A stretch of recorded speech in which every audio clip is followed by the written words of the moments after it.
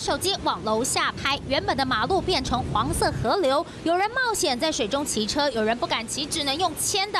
这是新北市树林被内街民众拍下的淹水画面，水淹到家里面，家具全泡在积水当中，外面下大雨，家里也跟着下小雨。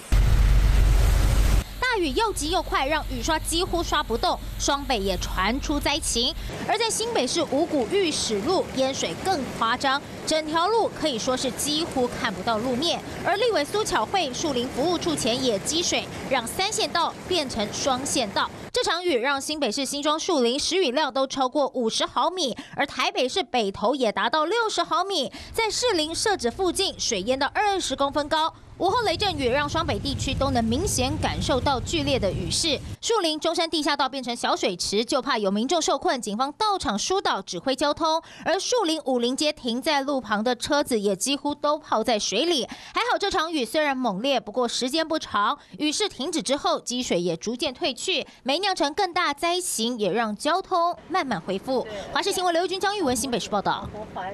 Hello，大家好，我是奶鱼，要教给大家两个任务。第一个，华视新闻的脸书专业，你按赞了吗？